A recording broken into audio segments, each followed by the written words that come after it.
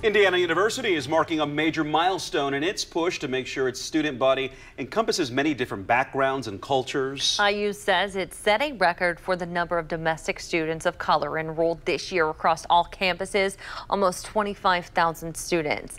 WRTV's Amber Grigley visited with students in Bloomington who explained why this matters so much for the school.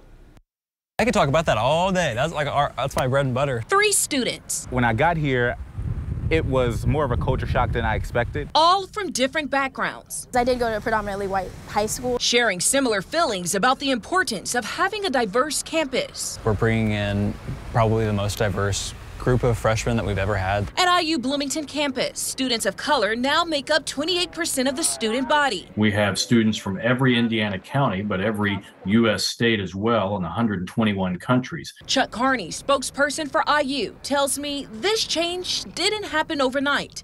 The university poured thousands, if not millions, into some initiatives to recruit students of color from underrepresented backgrounds. Things like the Hudson uh, Holland Scholars Program, the Group Scholars Program, and of course, 21st Century Scholars helps uh, along the way. Including programs both Joquin Griffin and Tashai Bean benefited from. Being around people that look like me, come from different walks of life, and just truly know what it is to be a black student. Hearing that universities are still trying to increase these things is, it's kind of hard to um, take in sometimes because it's like these things should already be incorporated in the things that you do. Well, now that IU has seen such an increase in diversity, the biggest question now is how does the university keep attracting diverse students? One thing that I kind of want to see happen this year is breaking down, I guess, the barriers between um, different groups. So one thing that I've noticed is that um, people go run to where they're comfortable. Providing more funding to the culture centers, um,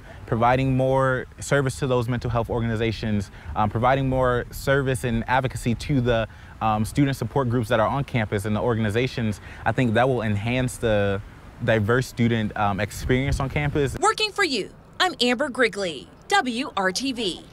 IU invested $30 million into getting more faculty and staff of color across all campuses this school year to accurately represent the students they want to attract from different backgrounds.